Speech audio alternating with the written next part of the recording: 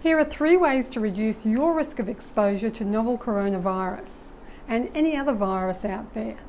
Did you know that millions of viruses rain down on us each day? According to Live Science, the particles swirl around in the winds that generate in the Sahara Desert and cross the oceans to descend upon unsuspecting humans like you and me. So don't expect to be safe from a virus just because you're on the other side of the world from its origins. The 2019 coronavirus is an airborne disease, but you can catch it from surfaces that have been touched by infected people. However, it doesn't live long on the surfaces, so it's not likely to be caught from a parcel that originated in China. The virus particles are in the air, and all that needs to happen is for them to be ingested. They're invisible, so you don't even know what you're breathing in. Just because you're not standing next to somebody who's coughing and spluttering doesn't mean you're safe. A simple sneeze can hit the air at 100 miles per hour. That's some force. It then spreads its germs far and wide, and if that person is infected, the coronavirus then begins its new airborne journey. This 2019 coronavirus spreads person to person and it generally occurs between people who are close contacts with one another. A close contact is someone who you've been face to face with for at least 15 minutes. Or someone infectious you've been in the same close space for with at least two hours. Viruses are unavoidable in life, and there is no known medical cure for this recent one. So, here are three ways you can reduce your susceptibility of the 2019 novel coronavirus. Number one, wear a face mask. That can help, right? Well, sort of, but not all masks are created equal. A normal surgical mask won't help, but an N95 surgical mask will help filter out germs. Now, you'll also need training on how to use one so that it seals around the nose and the chin properly. People find them very claustrophobic because they have to breathe much harder because the fabric is so thick. That's one way to avoid airborne germs, but it's not really an option for long periods of time or for people who are behind a camera, need to be seen, are welcoming clients in public, or on the phone. Masks do have their limitations in everyday use. Another way to avoid most viruses is by becoming a hermit. This is number two. That means you're not going to be out, go out where others have been. Your home is the safest place if there haven't been any infectious people there. Therefore, you're avoiding most introduced airborne germs. But this has a couple of drawbacks. You won't be able to go out, and people will have to come to you. It's actually quite difficult to avoid people altogether because you still need to get food, and even if it's delivered to your doorstep, you'll still need to go outside to collect it. Becoming a recluse is not really an option for most. So if this virus does become pandemic and you still need to go out, then according to Dr. Ken Berry, these steps should be taken. An N95 surgical mask is a must. A disposable gown in case you sit in public areas or transport. Glove up in case you touch something that's been infected Wear wraparound glasses that won't let any airborne germs in and so that you don't touch your eyes with infected fingers. Avoid public restrooms if at all possible and wash your hands in warm soapy water for at least 20 seconds.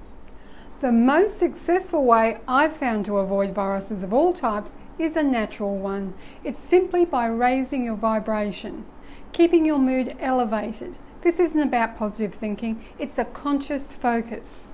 Now, this may seem strange, but a virus, just like everything else in this universe, is vibration. For you to catch any coronavirus, such as SARS, MERS, or the 2019 version, you'll need to be a vibrational match with that virus. All viruses by nature are low vibrational frequencies. They hang about in the mood of depression, fear, sadness, and powerlessness. And let's face it, in times when people think they're susceptible that something may harm them and that they feel they have no power over, then fear is pandemic.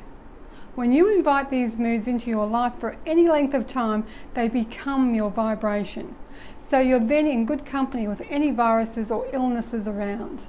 It's no coincidence that a favourite saying of people is that I got sick because my immune system was low. That's a true statement. Many people understand the correlation between feeling stressed or lowering your vibration and getting sick. That stress has made them vulnerable. They're quite aware that they haven't been looking after themselves. In our clinic, we have a saying either take time for yourself or make time to be sick. People even use excuses for catching viruses, such as burning the candle at both ends. All of these are an understanding of the connection between the body and the mind and how our mood makes us susceptible to illness. However, when you understand that everything is a vibration, then you can decide from which vibration you'd like to live your life. Raising your vibration is as simple as changing your mood. I can't even remember the last time I had a virus, even the flu. It's been many years because I keep my mood elevated.